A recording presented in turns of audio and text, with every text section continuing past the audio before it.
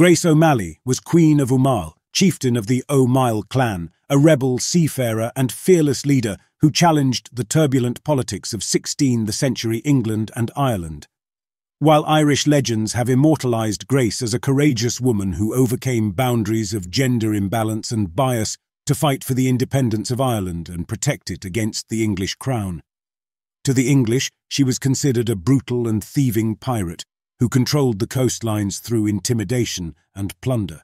Through the course of her life, Grace raised and led armies, commanded a fleet of ships, was captured twice, imprisoned, faced execution, secured her freedom twice, fought pirates, was a master of political negotiation, and struck fear into one of the most powerful countries of the era, England. Yet, despite her accomplishments, Grace O'Malley was not remembered in Irish history. In the Annals of the Four Masters, the seminal source of Irish history compiled just a few years after her death, and in a region where Grace was active, there is not one mention of her name. The only explanation for such an enormous commission from Ireland's historical records is that Grace's power was uncomfortable for the men of her era and in Catholic Ireland.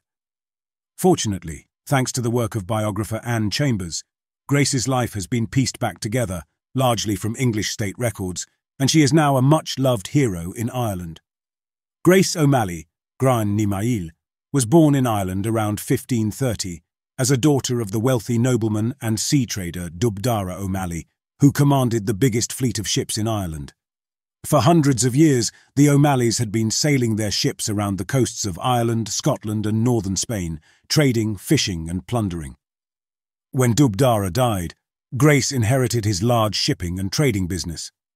From her earliest days, she rejected the role of the 16th century woman, instead embracing life on the sea with the O'Malley fleet. The income from this business, as well as land inherited from her mother, enabled her to become wealthy and powerful.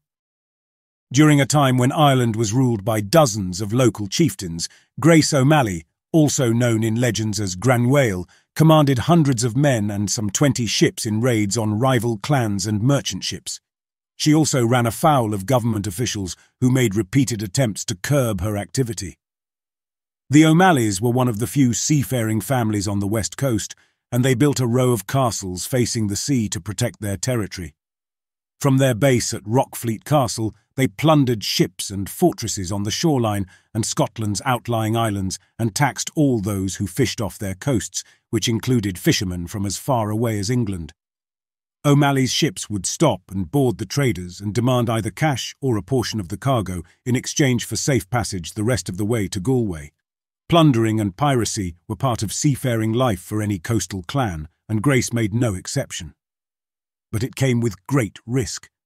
The penalty for piracy was death by hanging. To be a female commander of pirates was even more dangerous. To earn the respect and protection of her men, Grace had to lead from the front and be as courageous as those she commanded. Under the policies of the English government at the time, the semi-autonomous Irish chieftains were left mostly to their own devices. However, this was to change throughout O'Malley's life as the English conquest of Ireland gathered pace and more and more Irish lands came under their rule. Under the reign of Queen Elizabeth Llandairth, England implemented a divide and conquer policy. They could not afford to send an army to conquer Ireland by force, so instead Queen Elizabeth used the feuding between Irish chieftains to her advantage, replacing chieftains with those who promised to be loyal to her and adopt English law. But Grace would have none of it. England would not deny her or her husband, Richard an Iarainn, their rightful place in their clan according to Gaelic law. It was to this end that Grace raised armies and led rebellions, and it was not long before news of this rebel pirate had reached England. Letters written about her and sent to the English government described her as the nurse to all rebellions for forty years. Ambitious and fiercely independent, her exploits became known throughout all of Ireland and England.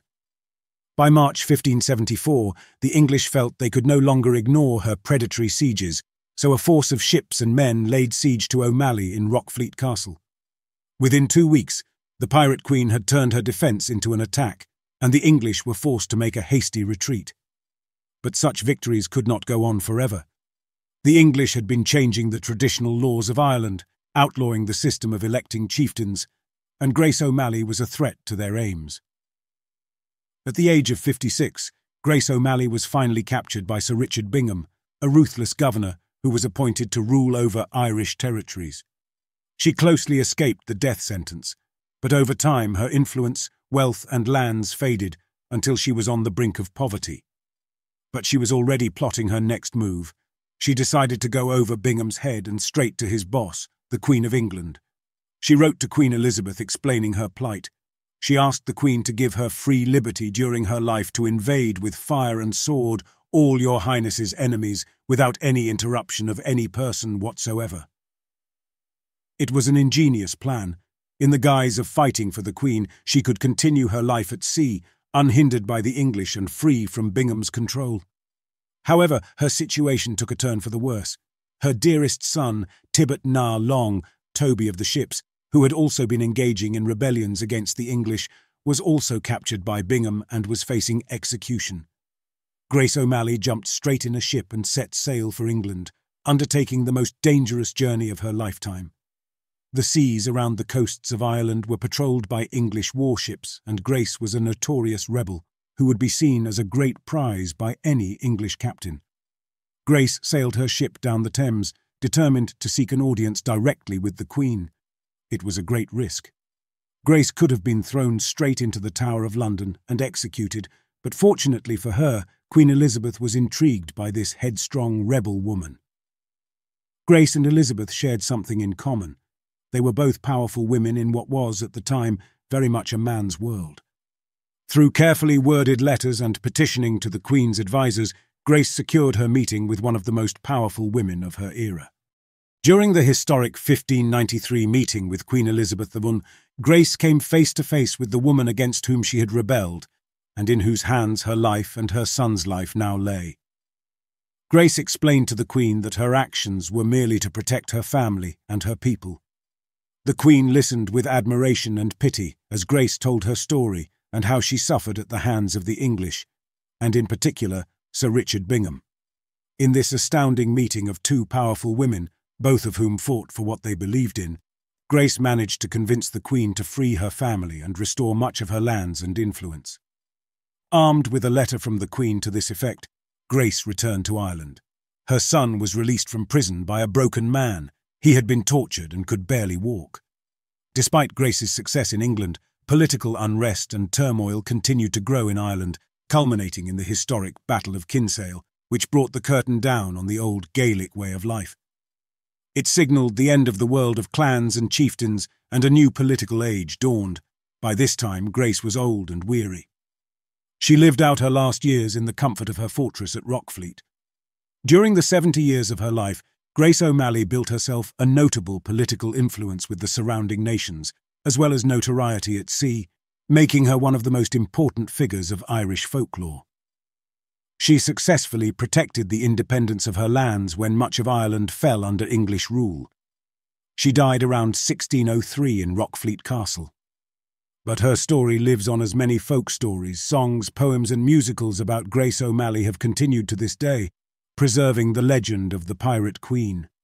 The following is an extract from the song Granuaile, believed to have originated in County Leitrim about 1798, with the survivors from Mayo of the battle at Ballinamuck between the Franco-Irish forces and the English. 'Twas a proud and stately castle. In the years of long ago, when the dauntless Grace O'Malley ruled a queen in fair Mayo, and from Burnham's lofty summit to the waves of Galway Bay and from Castlebar to Ballintra. Her unconquered flag held sway, she had strongholds on her headlands and brave galleys on the sea. And no warlike chief or Viking heir had a bolder heart than she, she unfurled her country's banner. High o'er battlement and mast, and against all the might of England, kept it flying to the last. The armies of Elizabeth invaded her on loans, her warships followed on her track, and watched by many a strand. But she swept her foes before her, on the land and the sea, and the flag of Grace O'Malley waved defiant, proud and free. Grace O'Malley's name also lives on as a company has adopted it for a brand of Irish whiskey, gin and rum. The Connaught Telegraph explains how Grace and the alcoholic beverages became connected. The idea for a whiskey dedicated to Grace O'Malley was initially conceived by Stephen Cope over 10 years ago, combining two of his passions in equal measure, quality Irish whiskey and the legend of Granuaile. I was on an annual pilgrimage with some friends to Inishbofin and brought a book about Grace by Anne Chambers with me to read on the trip. The social aspect of the trip, the combination of the scenery around Bofin, Turk, and Clare Island, along with the stories of this formidable woman who ruled the West Coast during a particularly turbulent time in Irish history, were inspiring. Grace O'Malley continues to spark an interest even today,